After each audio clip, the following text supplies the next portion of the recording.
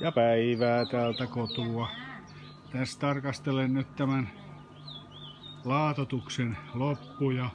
Niin kuin huomaatte, tämä takaosa on täällä vähän niin kuin tuollainen tilkkutäkkimäinen, koska siinä loppuu laatat ja ei sillä ole väliä täällä, minkälaiset nämä on, mutta täytyy sanoa, että kyllä on laatottajarouvat niin kuin ammattitaitoista porukkaa. Täällä on kyllä niin kuin saumat menee luoti suoraan ja on kyllä viimeisen päälle hyvää jälkiä.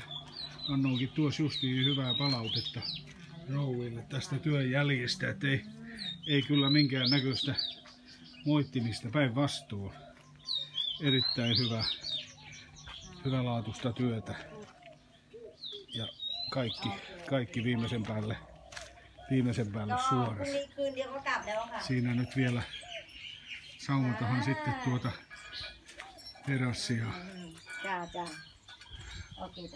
Terassia viimeisen päälle ja sitten alkaa olla näistä puolihin.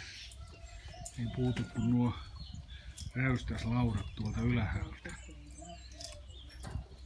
Me justihin tultiin kotiin, käytiin Jounin ja Enin työnä viimeistä kertaa nyt tällä reissulla. Ja nyt sitten huomenna on se legendaarinen pakkauspäivä. Nyt sitten pistetään laukut kondikseen. Tänä päivänä huomenna aamulla aikainen torille meno, mutta tänä päivänä nyt ei enää, enää mitään suurempia tästä tapahdu. Eli taidan siirtää itteni ansaatulle iltapäivä alueelle tuonne Longpengin terassille. Meinasin tuossa kuvata yhtä perhoosta, mutta se oli vähän liika nopea. Oli iso, komia perhoonen, mutta meni tuonne toiselle puolelle. Tuossa menee.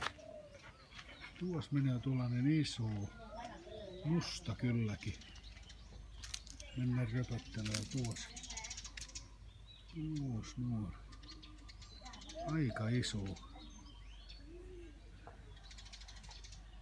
En tiedä hänen lajiaan, mutta komia, komia on ja iso. Oh.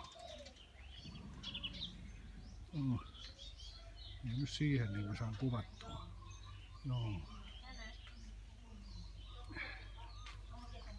se taitaa musta, se on melkein vähän punaista. No niin, mutta tähän tämä luontokatsaus tällä kertaa.